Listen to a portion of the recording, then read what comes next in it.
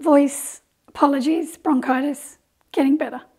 I've been asked a few times recently to paint another crow, and because Halloween is this month, I thought it's a perfect opportunity. In this video, I'll share a few of the techniques I used to paint this crow in watercolour. I think it's a crow. I'm sure someone will correct me if I'm wrong, but I think ravens are bigger than this bird.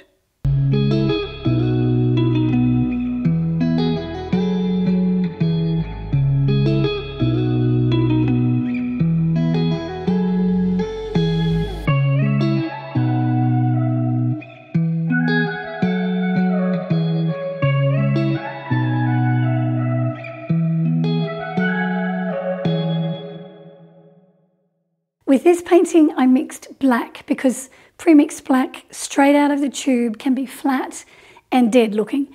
But I did cheat a little and I used some lamp black in the darkest areas. So I'll show you how I mixed my black and what I did with it and how I combined it with lamp black. Painting all black subjects, like painting all white subjects, can be a little daunting. I use the same approach that I use when I paint white subjects. I choose my reference photo carefully and I look hard for other colours that I can use to enhance my subject. With the reference photo I used for this painting, it was easy to see other colours. This was taken by Pete Niche and I downloaded it from Unsplash. And I can see blue and violet in those feathers. So I was able to use a combination of blue violet and black to make my crow look interesting. I used Fabriano Artistico soft press paper, which is a beautiful paper that I've only recently started using. It's got a slight tooth. It's more textured than hot press paper, but it's smoother than cold press, and it's a really lovely surface to paint on. I used a limited palette of four Winsor & Newton colours. French Ultramarine, Burnt Sienna, Winsor Violet, and because I couldn't help myself, a small amount of lamp black. The full-length tutorial of this painting has been posted on my Patreon site just in time for Halloween. So join us there if you want to learn more about painting in watercolour. I put a link in the description. Okay, I said I mixed some black. This is my black palette. I usually use French ultramarine and burnt sienna to mix black. And I like to get freshly squeezed paint out so that I don't have to wet my brush too much to mix it. So I use a slightly damp brush to mix the two colours together. And that gives me really dark pigment. If I don't have to use any water to pick the paint up, that keeps the paint really dark. Now, as I mentioned, I used this mixed black, but I also used a small amount of lamp black as well.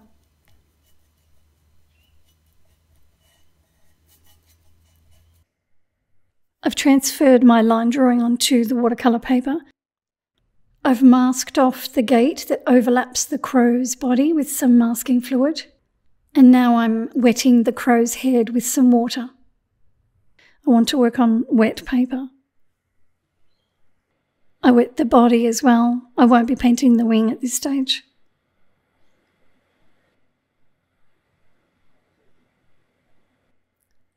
Pick up some of the black that I mixed and I paint that onto the wet paper. I don't want to go too dark just yet. I just need a light coverage of black over the top and then I will darken it in places. Paint carefully around the eye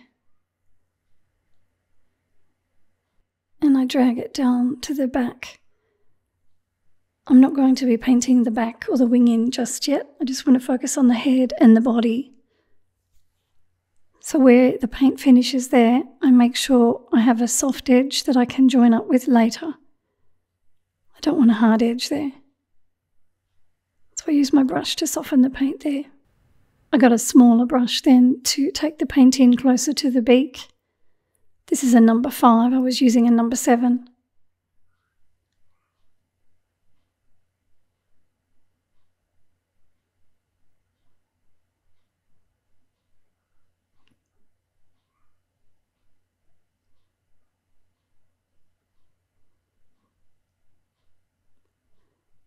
it up close to the eye as well.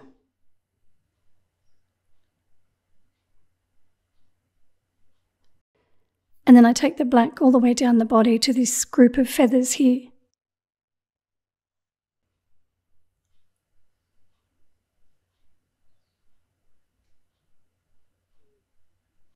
That's still wet, so I'm taking the opportunity to drop in some French ultramarine there at the top of the head.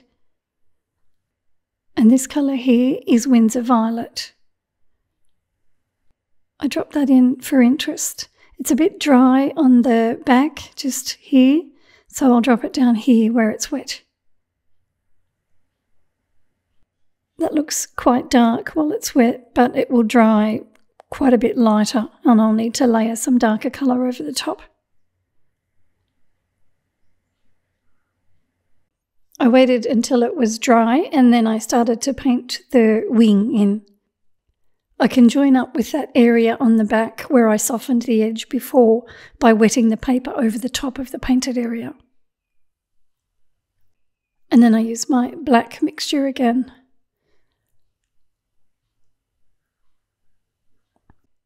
This feather here at the back, I'm going to paint in Winsor Violet.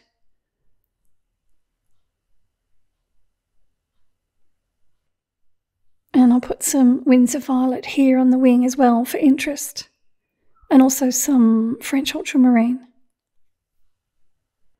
This first wash of paint will be seen in the lightest areas of the raven. You'll see me shortly painting over the darkest areas with some lamp black. Here I've got my black mixture again and I'm painting in the tail and the flight feathers with it. I have a definite wing edge here along the front of the wing because I painted in the body first, then I dried it and I painted in the wing separately. I painted in the tail, the beak and the eye. Now I'm going to darken the feathers on the head. To do that, I wet the paper with water. The wet paper will keep the paint edges soft for me. I'm going to be painting some lamp black on this area. And the previous layer is completely dry. I dried it with the hair dryer to make sure.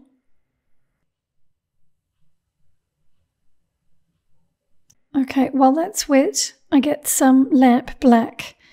This is my little lamp black palette. When I pick it up, I pick up really dark, sticky, thick pigment.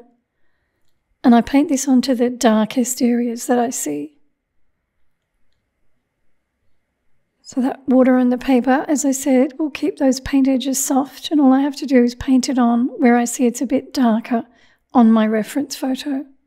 And you can see that it's darker in front of the beak, above the eye and below the eye as well. It's also below the beak there, you can see it's quite a bit darker. I could have used the black I mixed myself for this, but I wanted it super dark and I was a bit lazy the day that I painted this. So I thought I'm going to have a lot of my black mixture showing and I only need a bit of darker black here and there. So I just felt it was easier for me to use the lamp black in those darkest areas. Here I've just wet underneath the beak and I've got lamp black again. Got my little zero brush and I'm painting that on there on those darker areas. To get it quite dark, I wipe my brush over the pigment that's been squirted out on the little plate. It's gone hard now, so if I wipe my wet brush over the top, I get pure pigment. I paint a few little flicks off the edge. You can see why I've used Winsor Violet and French Ultramarine because you can see those colours on the reference photo. The feathers aren't completely black, you can see that beautiful sheen on them. Okay, so now I've got those black areas in that I can see, those really dark areas.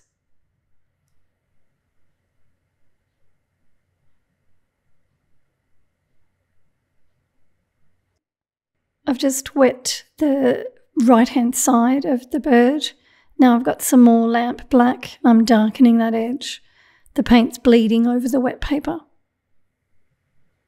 I don't want to completely lose the violet and the ultramarine that you can see.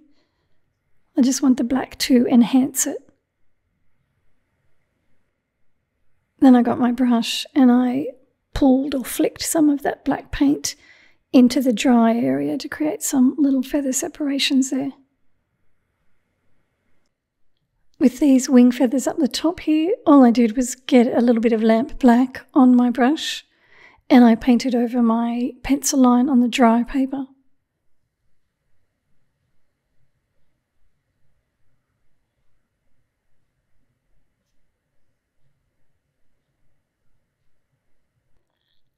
On the larger feathers, I worked on wet paper, so that's a bit of water going on that one now. I've got some lamp black here on my little zero brush, and I paint that along the pencil line where the two feathers meet one another. The paint bleeds over the water, and then I take the paint out of my brush and I use it just slightly damp to feather that paint out a bit more.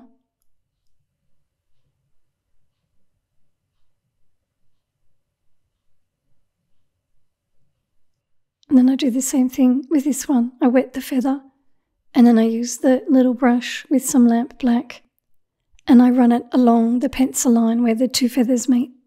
That gives me a little shadow along there and it separates the feathers from one another.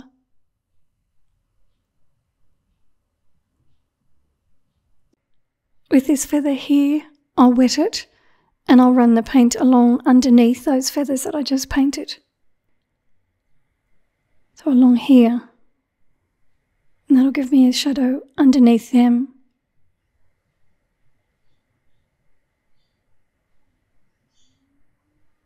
It's only a small amount of paint. I've wet the feather to the right of that one now, and I'm doing the same thing there, running the black along the pencil line. For the wing feathers on the other side, I use lamp black again and I leave some of the lighter underwash showing to separate them from one another. And here I'm painting on the dry paper. So you can see I've left a little bit of that lighter underwash showing between the feathers.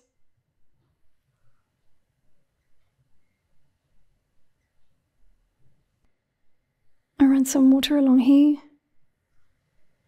and then some black along the edge. So I'm not actually giving these wing feathers another layer of paint. All I'm doing is using the lamp black to define them from one another.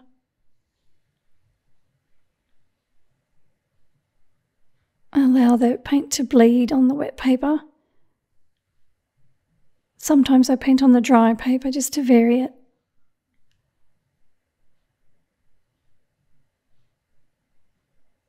I wet this one here with water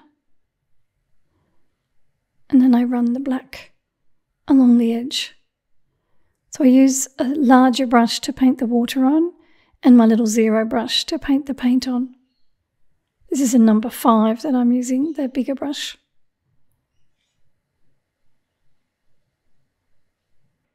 Along the back side of this wing feather here, I've just run some Winsor Violet on the dry paper.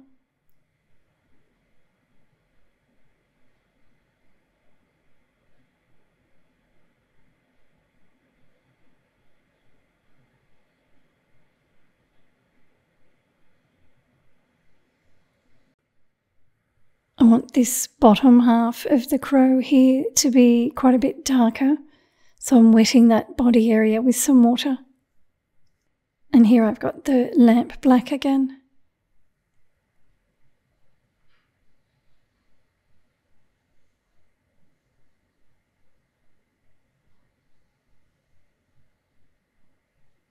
So it's quite dark down there. I push it up into the wet area and it gives me those soft edges. I don't want to completely cover over that lovely underwash that I've got there.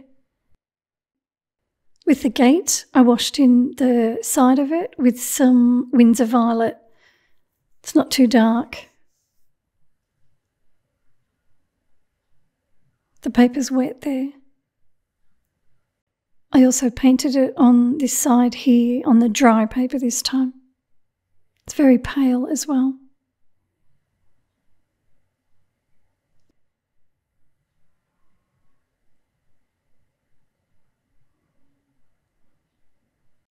When the violet was dry, I painted some burnt sienna onto the front of it.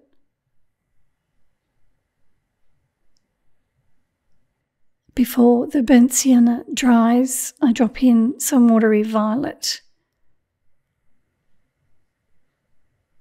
And then I get my little zero brush, I wipe it over the Winsor violet so that it's pure pigment, and I drop that on there while it's wet.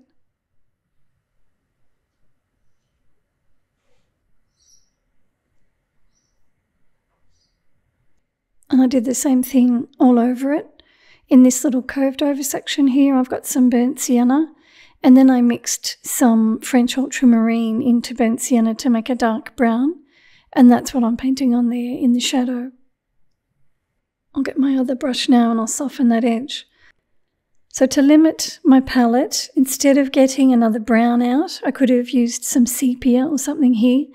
I made do with the colours that I've already been using and I mixed them together to make this new colour. It helps to keep everything unified.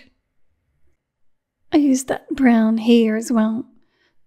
So it's burnt sienna with a touch of French ultramarine mixed into it. I wet the paper first and then I put the Winsor Violet on there as well. This is the brown again. Using my small brush to get into that little tight spot. Then I wet this area here with some water. I use the brown mixture there. That's in shadow. And then I get a bit of the violet before it dries and drop that in.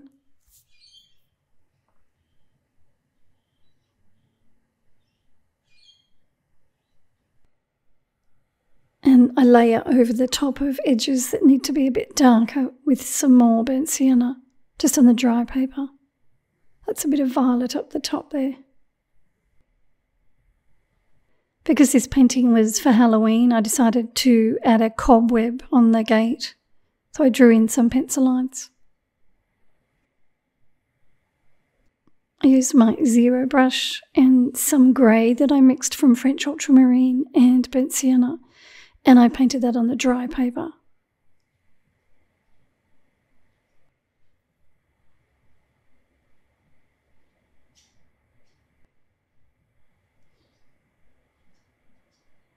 Painted in the feet, I extended the cobweb, and then I wet this side of the gate and I painted on some more burnt sienna to make it look like it was rusty.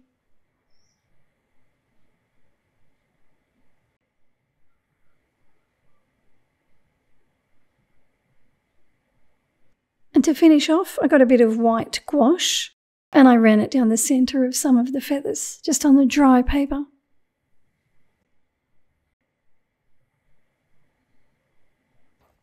And then when I was happy with it, I took the washi tape off and I took it off my board. And there it is, ready for Halloween. The gate took longer to paint than the crow because it was fiddly and it's got straight edges and curved edges. So I was glad to get that finished. I'm calling it a gate because I don't know what else to call it.